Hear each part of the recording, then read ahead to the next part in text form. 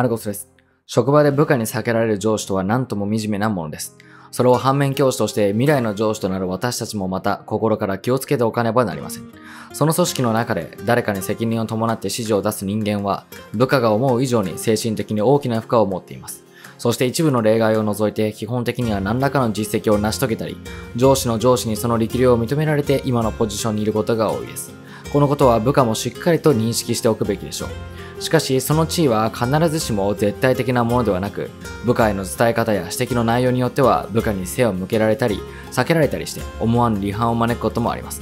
一度そうなってしまえば、この状態を回復するには大きなパワーが必要になりますし、人からの感情はそうそう変えられません。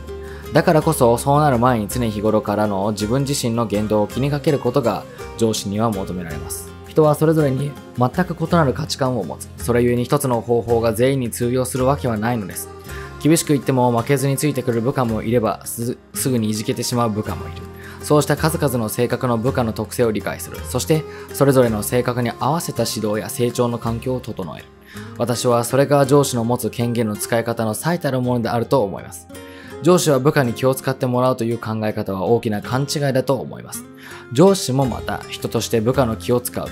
そうして相互の正しい信頼関係が構築され、組織の歯車を回り出し、全体のレベルが上がっていくのではないのかと思います。それではまた明日ね。